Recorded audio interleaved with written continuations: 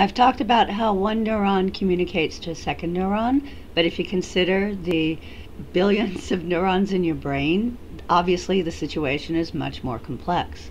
Here I'm showing you just a slightly more complex situation because there are two sending neurons and one receiving neuron.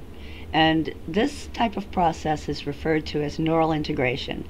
Basically, our receiving neuron is receiving input from other neurons, more than one, and it has to add those up and decide whether or not it will send a signal along its length to other adjacent neurons. Generally, there's one type of neurotransmitter per cell, but each neurotransmitter can have a different effect on different receptors. If that effect is excitatory, then the result is depolarization, and if it's inhibitory, then the result is hyperpolarization. Now, I've mentioned that you do not need to know those terms, depolarization, polarization, hyperpolarization, but if you understand those terms, then this should make sense to you.